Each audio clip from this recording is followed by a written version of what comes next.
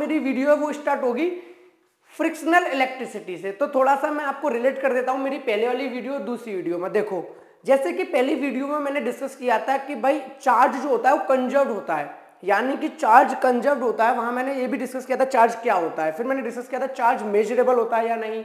या चार्ज को अगर मेजर करते हैं तो किस यूनिट में मेजर करते हैं? तो ये सारी चीज़ें मैं पिछली वीडियो में देख चुका, बता चुका हूँ आप लोगों को, ठीक है? तो आज जो मैं स्टार्ट करने वाला हूँ वो अपना नेक्स्ट लेक्चर स्टार्ट कर रहा हूँ इलेक्ट्रिक चार्जेस एंड फ़ील्ड का। तो जैसा हमने उस वीडियो में देखा था कि हमारा जो चार्ज होता है, वो कंजर्व्ड नेचर का होता है। यानी charge can not be created not be destroyed but can be transfer वहाँ एक वर्ड आया था कि चार्ज ट्रांसफ़र हो सकता है। तो वहीं एक क्वेश्चन मार्क लगा था कि चार्ज ट्रांसफ़र कैसे होता है? क्या करना पड़ता है चार्ज को ट्रांसफ़र करने के लिए? पॉइंट क्लियर है? यानी कि हमें यह तो पता है चार्ज ना बन सकता चार्ज ना डिस्ट्रॉय हो सकता। चार्ज एक बॉडी से दूसरी बॉडी में ट्रांसफ़र हो सकता है, लेकिन अब बात आती है हाउ। तो इसलिए अब हम पढ़ेंगे फ्रिक्शनल इलेक्ट्रिसिटी। तो आपको क्लियर हो गया, मेरा फ़र्स्ट लेक्चर, सेकंड लेक्चर से कनेक्ट हो गया। तो फ्रिक्शनल इलेक्ट्रिसिटी में हम लोग क्या पढ़ने वाले हैं? हम पढ़ने वाले हैं कि किस तरीके से जो चार्ज होता है, वो एक बॉडी से दूसरी बॉडी में जाता है। तो जैसे कि आपको नाम से समझ में आ रहा है फ्रिक्शनल। फ्रिक्शन का आपको मतलब पता होगा, फ्रिक्शन क्या होता है? जब दो रिलेटिव मोशन होते हैं, दो बॉडी के बीच में। अगर दो बॉडी रब करती हैं तो इनके बीच में जो फोर्स होती है फ्रिक्शनल फोर्स होती है आपने फ्रिक्शनल फोर्स भी नाम सुना होगा। तो फ्रिक्शन से आपको एक आइडिया हो गया कि दो बॉडी के बीच में एक रिलेटिव मोशन होगा, यानी एक दूसरे पर रब की जाएँगी। क्लियर है? तो सेम यहाँ पर वही कॉन्सेप्ट है। जब भी दो बॉडी एक दूसरे से रब की जाती हैं, जब भी दोनों को क्या किया जाता है रिलेटिव मोशन किया जाता है तो एक बॉडी और दूसरी बॉडी में इलेक्ट्रॉन का ट्रांसफ़र होता है। यानी कि ऑब्वियसली एक बॉडी को इलेक्ट्रॉन देगी और दूसरी बॉडी को इलेक्ट्रॉन लेगी और इस तरीके से हमारा चार्ज ट्रांसफ़र हो जाता है। तो आपको एक आइडिया हो गया कि हम फ्रिक्शनल इलेक्ट्रिसिटी में क्या पढ़ने वाले हैं? हम फ्रिक्शनल इलेक्ट्रिसिटी में पढ़ने वाले हैं कि बाई फ्रैक्शन इलेक्ट्रिसिटी प्रोड्यूस करना। क्लियर है? या इलेक्ट्रिक चार्ज को ट्रांसफ़र करना। तो देखते हैं अपन के पॉइंट्स पहला point it is the static electricity generated by friction ये एक स्टैटिक इलेक्ट्रिसिटी होती है। फ्रिक्शन की हेल्प से प्रोड्यूस होती है। ठीक है भाई, याद रखना, कैसी इलेक्ट्रिसिटी है?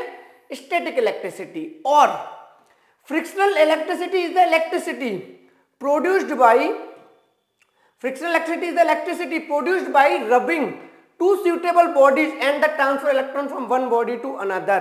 यानी फ्रिक्शनल इलेक्ट्रिसिटी प्रोड्यूस होती है जब हम रब करते हैं। कोई भी दो सुटेबल बॉडीज को, क्या वर्ड यूज़ किया? दो सुटेबल बॉडीज यानी कि अभी हम बात करेंगे दो सुटेबल बॉडी क्यों बोला? दो सूटेबल बॉडी का मतलब क्या है? कि दोनों बॉडी उनके अंदर या ऐसे कह सकते हो स्टैटिक इलेक्ट्रिसिटी दोनों बॉडी इंसुलेटर होनी चाहिए। वो मैं आगे आने वाली वीडियोज़ में डिस्कस करूँगा, ठीक है? तो अभी आप याद रखो कि दो बॉडी को रब कर रहे हैं। दो सुटेबल बॉडीज को रब करके ट्रांसफ़र इलेक्ट्रॉन होता है एक बॉडी से दूसरी बॉडी में। ठीक है मेरे भाई? सेकंड पॉइंट क्लियर हो गया? तो आपको पता चल गया कि स्टैटिक इलेक्ट्रिसिटी क्या है और आपको पता चल गया फ्रिक्शनल इलेक्ट्रिसिटी क्या है। या आप ऐसे कह सकते हो फ्रिक्शनल इलेक्ट्रिसिटी को स्टैटिक इलेक्ट्रिसिटी भी कह सकते हो। आगे बढ़ते हैं। The property of rubbed substance जो कि हमने रब किया उसकी जो प्रॉपर्टी है due to which they attract light object is called electricity यानी इलेक्ट्रिसिटी को उन्होंने क्या बोला है? इलेक्ट्रिसिटी वो प्रॉपर्टी है रब्ड ऑब्जेक्ट की, जैसे आपने देखा होगा स्केल आप लेते थे और बालों में रब करते थे। तो जब आप स्केल को बालों में रब करते थे, फिर पीसेस ऑफ़ पेपर के पास ले आते थे, वो अट्रैक्ट होते थे। तो जो इस स्केल की प्रॉपर्टी है, जो इस स्केल की प्रॉपर्टी है, इसमें रब करने की वजह से आ गई है। क्या प्रॉपर्टी आ गई है कि ये थिन पेपर्स को अट्रैक्ट कर सकता है? तो इसी प्रॉपर्टी का नाम है इलेक्ट्रिसिटी क्लियर हुआ मेरे भाई? यानी रब्ड बॉडी अगर किसी भी दूसरे पीसेस ऑफ़ पेपर को, बहुत हल्के पेपर जो हो, उन्हें अगर अट्रैक्ट कर पा रही है तो उस प्रॉपर्टी का नाम है इलेक्ट्रिसिटी क्लियर है? आगे बढ़ते हैं। The electricity developed by rubbing और फ्रिक्शन इज़ कॉल्ड फ्रिक्शनल और इलेक्ट्रिसिटी अभी मैंने कुछ देर पहले ही वाली बात बोल दी थी कि जो इलेक्ट्रिसिटी डेवलप होती है, जो इलेक्ट्रिसिटी प्रोड्यूस होती है बाई रबिंग रब कह लो फ्रिक्शन कह लो दोनों का मीनिंग सेम है रब करना या फ्रिक्शन दोनों का रिलेटिव मोशन उसकी वजह से जो इलेक्ट्रिसिटी प्रोड्यूस होती है, उसे हम कहते हैं फ्रिक्शनल इलेक्ट्रिसिटी या फिर स्टैटिक इलेक्ट्रिसिटी स्टैटिक इलेक्ट्रिसिटी को आप फ्रिक्शनल इलेक्ट्रिसिटी भी कहते हो फ्रिक्शनल इलेक्ट्रिसिटी को आप स्टैटिक इलेक्ट्रिसिटी भी कह सकते हो। क्लियर है?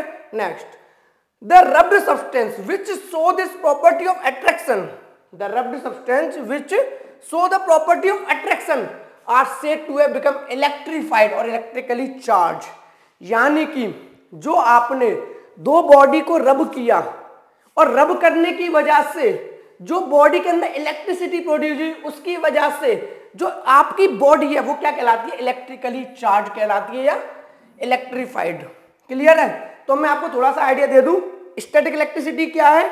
आपने रब किया। रब करने की वजह से जो इलेक्ट्रिसिटी प्रोड्यूस हुई, उसे क्या बोला? स्टैटिक इलेक्ट्रिसिटी और जिन ऑब्जेक्ट ने रब किया एक दूसरे को, वो क्या बन गए? इलेक्ट्रीफाइड हो गए। या फिर वहाँ पर इलेक्ट्रीफाइड हो गए, या फिर वहाँ पर इलेक्ट्रिकली चार्ज हो गए। क्लियर है मेरे भाई? तो आपको थोड़ा सा आइडिया हो गया कि दो बॉडी रब की जाएँगी। और दो बॉडी को रब करने के बाद इलेक्ट्रिसिटी प्रोड्यूस होगी, यानी चार्ज का ट्रांसफ़र होगा। चार्ज का ट्रांसफ़र जो हो रहा है, उस प्रॉपर्टी को हम बोल रहे हैं इलेक्ट्रिसिटी और उस इलेक्ट्रिसिटी का नाम है या तो स्टैटिक इलेक्ट्रिसिटी या फिर फ्रिक्शनल इलेक्ट्रिसिटी और जो रब्ड बॉडी हैं, जिनकी वजह से इलेक्ट्रिसिटी प्रोड्यूस हो रही है, उनको बोला गया है या तो इलेक्ट्रीफाइड हो गए या बोला गया है इलेक्ट्रिकली चार्ज हो गए। जैसे आपको पता है कि रब किया। एक में से इलेक्ट्रॉन चले गए इलेक्ट्रीफाइड हो गया। वो बात अलग है कि पॉजिटिव हो गया। और जिसमें इलेक्ट्रॉन गए इलेक्ट्रीफाइड हो गया, यानी कि नेगेटिव हो गया। तो इन्होंने जो वर्ड इलेक्ट्रीफाइड यूज़ किया है ना, ये इसमें कोई भी हो सकता है। या तो वो बॉडी पॉजिटिव बन सकती है इलेक्ट्रीफाइड होकर या फिर नेगेटिव बन सकती है। क्लियर है मेरे भाई? तो ये बात थी आपकी फ्रिक्शनल इलेक्ट्रिसिटी की, यानी कि फ्रिक्शनल इलेक्ट्रिसिटी कैसे प्रोड्यूस होती है। अब थोड़ा सा समझने की कोशिश करेंगे इलेक्ट्रॉन जाते कैसे हैं? अब ये तो पता चल गया। हमें क्या पता चला? कोई भी दो बॉडी है। उनको रब कर दो। उनको रब कर दो तो इलेक्ट्रॉन एक बॉडी से दूसरी बॉडी में चले जाते हैं। लेकिन किस तरीके से आते हैं? एक्चुअली में होता क्या है वहाँ पर तो इसे समझने की कोशिश करते हैं। और इसे समझने के लिए हम लोग पढ़ेंगे अपना electronic theory of frictional electricity क्या पढ़ेंगे? Electronic theory of frictional electricity यानी जो फ्रिक्शनल इलेक्ट्रिसिटी प्रोड्यूस हो रही है उसकी इलेक्ट्रॉनिक थ्योरी क्या है? यानी इलेक्ट्रॉन के साथ क्या हो रहा है? इलेक्ट्रॉनिक इलेक्ट्रॉन के लिए ही है। ठीक है? आप सही सोच रहे हो। तो जो इलेक्ट्रॉन है, उनके साथ क्या हो रहा है? थोड़ा सा समझने की कोशिश करते हैं। पहली चीज़ उन्होंने बोली all matter is made up of atom बिल्कुल सही बात। हर एक बॉडी किससे मिलकर किस, क्या है? All the matter is made up of atom हर एक बॉडी मैटर है और हर मैटर एटम से मिलकर बना है। अब एक बात बताओ, अभी हम क्या बोल रहे थे? दो बॉडी को रब किया। तो जिन दो बॉडी को रब किया, वो क्या होंगे? मैटर और मैटर किससे मिलकर बने होंगे? एटम तो ऐसा तो नहीं हो सकता भैया, मेरी वाली बॉडी में एटम नहीं है। जिस बॉडी को मैं रब कर रहा हूँ, उसमें एटम नहीं है। ऐसा कोई बोल सकता है क्या? नहीं बोल सकता। यानी अगर आपने कोई भी दो बॉडी को रब किया हुआ है तो इतना तो क्लियर है दोनों बॉडी मैटर है। हाँ या ना? और दोनों बॉडी पे एटम है। तो पहली बात क्लियर होगी all matter made up of atom ठीक है, आगे देखते हैं क्या होता है। जो एटम होता है consist of small central nucleus यानी जो एटम होता है, उसके सेंटर में एक न्यूक्लियस होता है। तो जैसे अगर मैं इसे एटम मानू तो उसके सेंटर में कहीं न्यूक्लियस होता है। ठीक है भैया? And atom of small central nucleus containing proton and neutron और जो एटम का न्यूक्लियस होता है, जो कि सेंटर में होता है, उसके अंदर क्या क्या है? प्रोटॉन एंड न्यूट्रॉन यानी यहाँ पर क्या क्या है? लिख देता हूँ। प्रोटॉन एंड न्यूट्रॉन कहाँ पर है मेरे भाई? न्यूक्लियस में है। किसके न्यूक्लियस में? एटम के न्यूक्लियस में। यानी कि atom consist of small central nucleus containing proton and electron, ठीक है? Around which revolve number of electron और उस न्यूक्लियस के चारों ओर, उस न्यूक्लियस के चारों तरफ़ इलेक्ट्रॉन रिवॉल्व करते रहते हैं। यानी कि कुछ ये न्यूक्लियस यहाँ पर क्या करते रहते होंगे? इलेक्ट्रॉन रिवॉल्व करते रहते होंगे। यहाँ पर इलेक्ट्रॉन रिवॉल्व करते रहते हैं। ठीक है भैया? न्यूक्लियस हो गया, इसके अराउंड इलेक्ट्रॉन रिवॉल्व करते रहते हैं। इन्होंने दूसरे पॉइंट में ये क्लियर कर दिया। पहले पॉइंट में क्लियर किया था कि हर मैटर में एटम है। दूसरे पॉइंट में क्लियर किया कि एटम के सेंटर में न्यूक्लियस है। उस न्यूक्लियस में कौन कौन है? प्रोटोन और न्यूट्रॉन है। और जो इलेक्ट्रॉन है वो उसके आसपास है। ठीक है मेरे भाई? आगे बोला the electron of the outer shell of an atom are loosely bound through the nucleus यानी ध्यान से समझना न्यूक्लियस क्या होता है? पॉजिटिवली चार्ज इलेक्ट्रॉन क्या होता है? नेगेटिवली चार्ज अब हम सब जानते हैं, अगर ये पॉजिटिव चार्ज और नेगेटिव चार्ज होंगे तो एक दूसरे को क्या करेंगे? अट्रैक्ट करेंगे। और पॉजिटिव और नेगेटिव जितना पास होगा, उतना ज़्यादा अट्रैक्ट करेगा। तो ये कह रहा है, जो ये पहली वाली सेल है, जो ये पहली वाली सेल है, इसमें जो इलेक्ट्रॉन होंगे, वो पॉजिटिव चार्ज के पास है। पॉजिटिव नेगेटिव स्ट्रॉन्गली अट्रैक्ट पकड़ के रख लिया। इसके बाद वाली जो सेल है, उसमें थोड़ा सा डिस्टेंस बढ़ गया।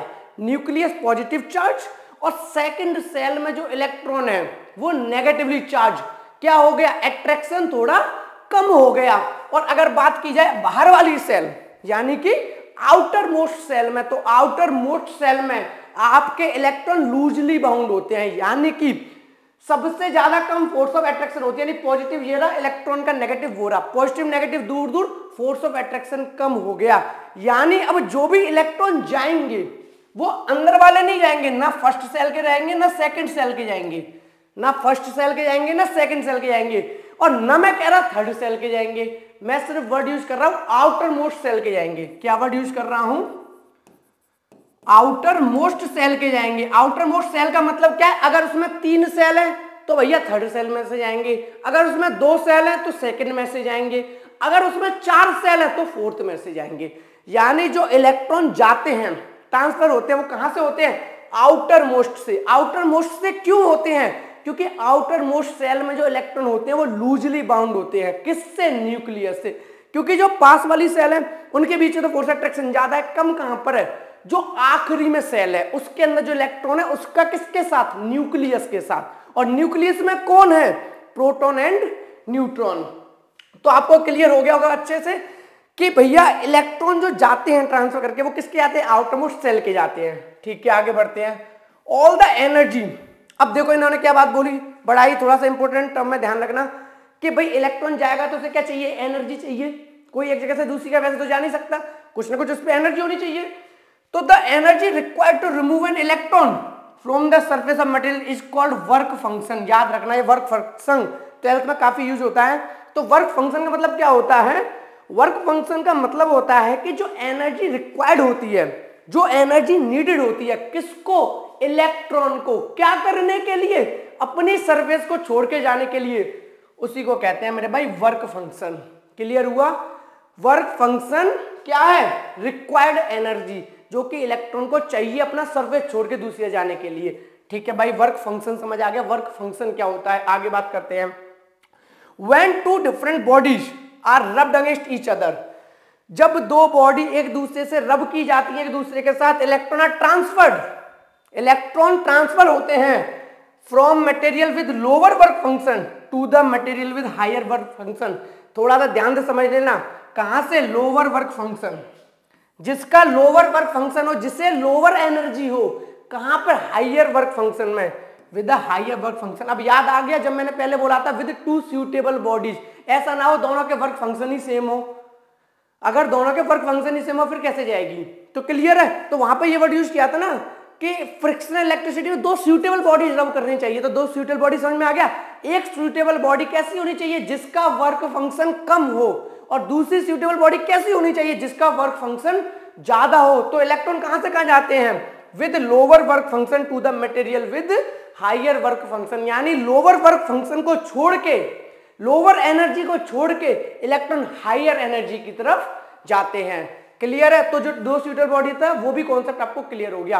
वर्क फ़ंक्शन क्या होता है? वो भी क्लियर हो गया। जो एनर्जी रिक्वायर्ड होती है इलेक्ट्रॉन को अपने आउटर मोस्ट सेल को छोड़ के जाने के लिए उस एनर्जी को क्या कहते हैं मेरे भाई? वर्क फ़ंक्शन कहते हैं। क्लियर है? तो आई थिंक आपको क्लियर हो गया होगा। ये था थोड़ा सा मेरा फ्रिक्शनल इलेक्ट्रिसिटी का पार्ट ठीक है? ये मेरा electric charge and field class twelfth physics chapter one का सेकेंड लेक्चर था। मैं ऐसे सीरीज़ में बना रहा हूँ टॉपिक वाइज ठीक है? तो मिलते हैं फिर अपने नेक्स्ट वीडियो में एक नए कॉन्सेप्ट के साथ। फिर तब तक के लिए tata bye bye thank you so much